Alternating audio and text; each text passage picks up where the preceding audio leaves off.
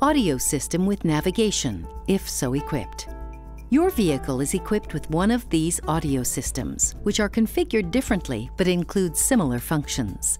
If your vehicle is equipped with any of these audio systems, please refer to the owner's manual for more information on your audio system.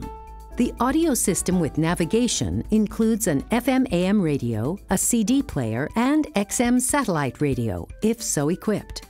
This is the control panel. Audio functions will appear on the display monitor. Press the volume on-off control knob to turn your system on or off. Turn the knob left or right to adjust the volume. Your radio will play FM and AM stations, and if so equipped, will tune in XM satellite radio. Press the FM AM button to change between AM, FM1, and FM2. Pressing the XM button will allow you to choose XM1, XM2, or XM3, if so equipped.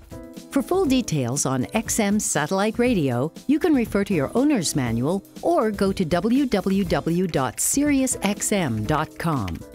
To tune and stop at the next or previous broadcast station, press the seek category or track buttons. If playing a CD, press the track button to advance to the next track. Press the seek category button and the current track will restart. Press either button several times to skip through multiple tracks. Press and hold the seek category button for more than one and a half seconds to rewind or the track button to fast forward the CD. When the button is released, it will resume normal play. The Tune Folder audio control manually tunes the radio. To move up or down through the stations, turn the knob. When you press the scan button, it will seek out and stop for five seconds at each broadcast station along the dial. When you reach a station you want to listen to, press scan again within the 5 seconds to stop. To adjust audio settings, you'll press the audio button. It can adjust bass, treble, balance, and fade. Simply press the audio button repeatedly until the audio effect you want to adjust appears in the display. Then turn the Tune Folder audio knob left or right to adjust it to the desired level. You can also adjust these audio features by pressing the Setting button on the control panel and selecting Audio.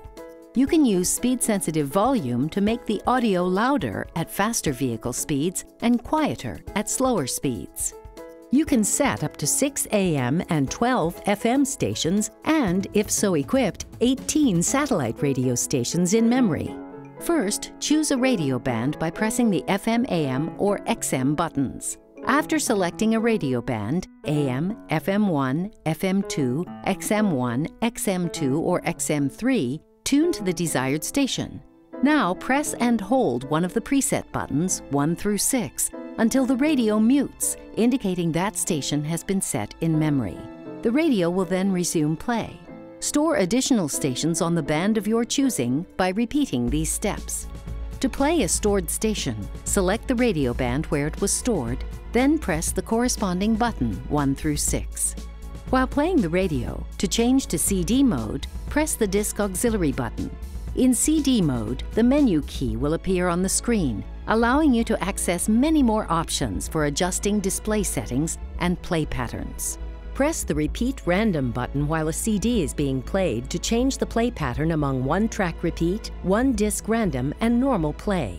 This feature also changes the play pattern of MP3 discs and optional features, such as iPods and USB devices, if so equipped.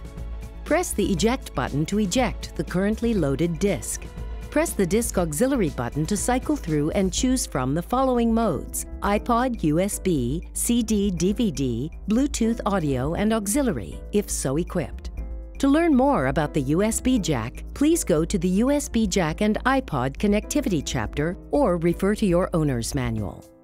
The auxiliary input jacks on the back of the center console, if so equipped, allow compatible devices to be plugged into the audio system, accepting NTSC-compatible devices such as video games, camcorders, portable video players, and some MP3 players.